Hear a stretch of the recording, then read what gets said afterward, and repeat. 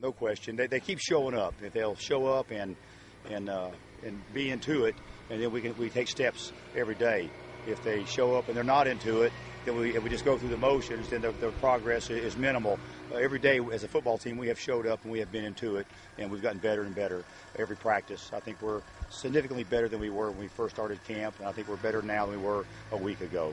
So encouraged uh, by their effort and, and uh, you know, the way they show up and, and, and, ready to practice and ready to play, but we're still not ready for the game yet. But we, we, we will be. You ready to name a starter at quarterback yet? Well, I'm going to wait and visit with Coach Nord.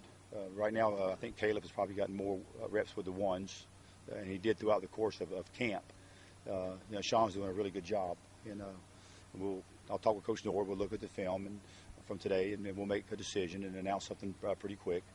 obviously, it won't be Rob Henry and uh, it won't be Robert Marve. Uh, he's, he's still a ways away. He did Robert did get some reps today, and uh, I believe he's going to be ready to play or, or, ready to start getting ready to, to play very soon. I was was pleased with the performance that he had this morning. The little bit that he got, he was very accurate with his passes, and uh, I think he's going to be able to help our football team soon.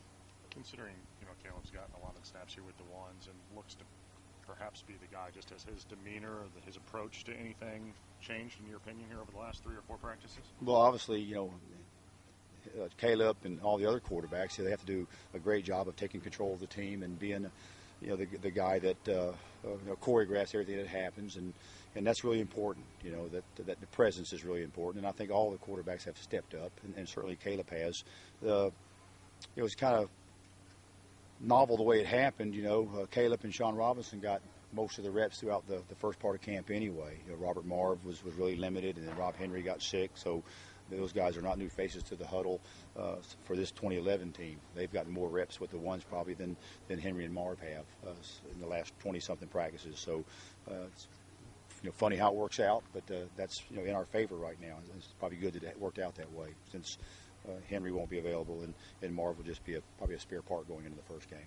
Just how did Caleb look today? I mean, when he, when he was out there. I think Caleb's done a really nice job. Uh, he throws the deep ball very well, and, uh, and Marve does too. We get some nice deep balls in warm up, warm ups today.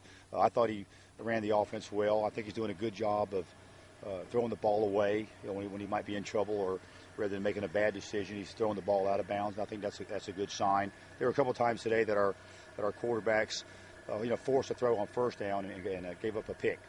You know, and you know, first down you don't have to do that. It was the last play of the game or the last play before the half, and you know we were in a pickle. You know, sometimes it's a little, a, a little more of a squeeze from a decision-making standpoint. But a couple times a day we threw picks when we didn't need to. So uh, still a lot of work to do. But I like the talent part of our football team. I like the attitude of our football team. I like the way they show up and, and ready to get it on, and they seem to have a lot of fun uh, playing the game. We just got to uh, iron out the little wrinkles to be ready to play next Saturday. I'm sorry about that. Oh, no, okay. You're not right. Yell at him in front of everybody. How'd you think the offensive line looked today, I think our offensive line has done very well throughout the course of camp, and maybe the position on our football team that has improved the most since the first day of camp up until now. You know, Justin Kitchens being at the right tackle spot and Nick Mondek being at the right guard spot for a lot of practices now is, is starting to show. They look a lot more comfortable and a lot more grooved over there on that right side. Uh, it's an athletic offensive line. You know, Justin Kitchens can really run. Nick Mondek can really run. Uh, Schmeek is a good athlete. Peters Dry can really run. You know, Dennis Kelly is an NFL prospect. You know, so it's a talented offensive line uh, from an athletic standpoint. And, uh, I, and play and play well together. There's enough experience on that line, enough talent on that line for us to have an awfully good offensive line this year. I think we're much. I know we're much further along offensive line wise than we were this time last year and maybe further along than any point in time offensive line wise last year. So I'm really encouraged by that outfit. Just so you worked out, uh, I don't know if this is the right word, but rotation or whatever at wide receiver, what players you're, you're planning on shipping out there as you you know get past the, the first three. Well, we're still moving them around a little bit, but if you if you just rank our wide receivers, you know, one through six, you know, then obviously, you know, it's going to be Justin Siller and then, and then Tavian Edison and O.J. Ross, and you go right on down the line, and those are the guys that, that will be in the rotation. Uh, you know, we have to figure out, you know, who our big playmakers are and have a plan to get the ball to certain guys a certain amount of times and in certain ways. And that'll be the game planning part of this week, and that'll be a lot of fun.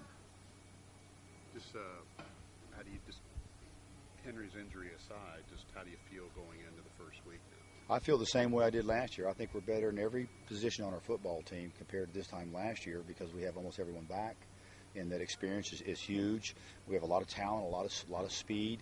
You know, again, uh, Kyle Adams was a really good blocking tight end, and I think our tight ends right now are, are blocking really well. I like what I'm seeing out of Crosby. Wright, he's a very physical uh, tight end. He's a lot like Kyle Adams. He puts his face on you. He's got some magnet about him where he can stick with his blocks.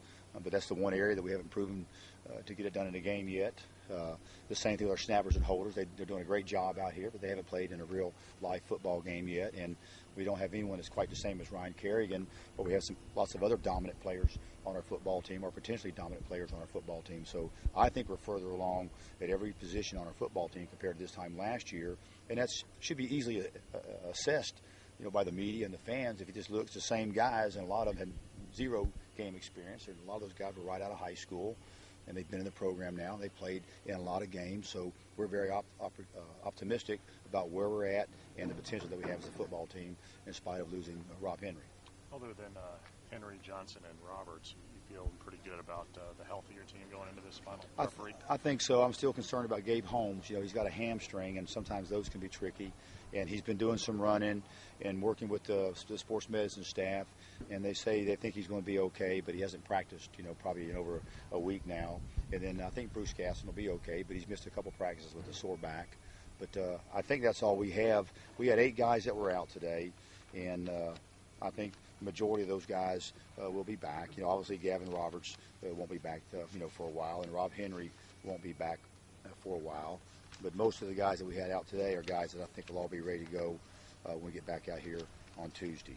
When you uh, talked about Rob the other day, there was Rob, Henry. okay. Uh, We, we, we go through, we go through that a lot around here too. I, I can't believe that. No more quarterbacks named Rob. I mean, there was you, left a little bit of, uh, I guess, open. I mean, is he is he is he done for the year for sure? I don't want to say that, you know, until they've had time for the swelling to go down and and uh, and they're sure exactly you know where it's at and what the procedures are going to be. Uh, you know, he has a, a torn ACL, and odds are he's done for the season. But again, you know, time will tell. Okay.